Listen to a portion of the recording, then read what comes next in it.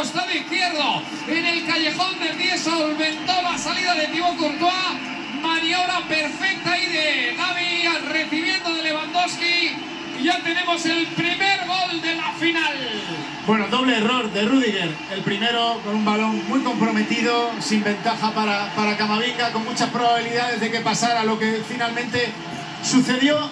Y luego encima tarda mucho en cerrar. O sea, comete el error y tarda mucho en cerrar, lo cual permite a Sergio que hace un robo buenísimo. Y la maniobra de Lewandowski que tenía ya el, el lugar, la ubicación de Gaby en la cabeza y le da un balón rapidísimo que Gaby controla y define a la Sí, perfección. contra un equipo así no te puedes equivocar. Es curioso porque el Barça tenía mucho control de juego.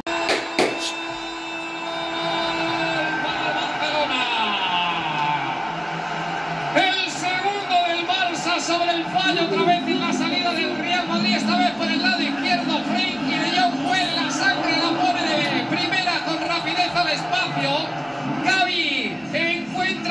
autopista, ahí va Carvajal a la presión y le da toda la oportunidad a Frenkie de Jong.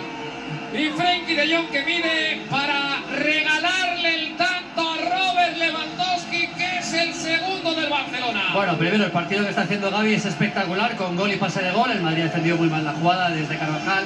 En la salida el equipo desordenado, descolocado, han llegado todos tarde. Y claro, otra vez lo mismo, el Barça con este nivel de jugadores que tiene individualmente, eh, no te puedes equivocar de esta forma. Es curioso, ¿eh? el Barça ha salido a tener control, control, control y los dos goles los ha hecho de forma completamente distinta al, al tipo de partido que ha propuesto. Bueno, el, eh, jugada donde, donde Dani Carvajal no debe ir a defender hacia adelante, claramente. Siendo, eh, siendo el último, no puedes ir al penúltimo. ¡Gol!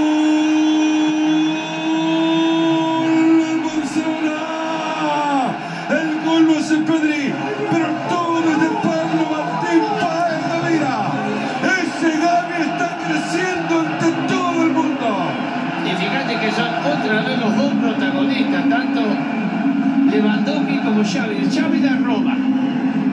Gavi, no Xavi. Lewandowski, el pase para Gavi, el centro, el segundo palo. Y Pedri que entra tranquilamente en el segundo para marcar el tercero de Barcelona. Este no es el Madrid y este Barcelona no es el Barcelona normal, ¿eh? Ojo que están revisando, se ha completado el gol sube al marcador. Ha sido Pedri el anotador del tercero.